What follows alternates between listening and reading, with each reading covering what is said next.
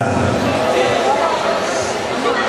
we put out our own record label. And all of a sudden, we started getting a lot of attention. And we got in trouble for the lyrics. And it went something like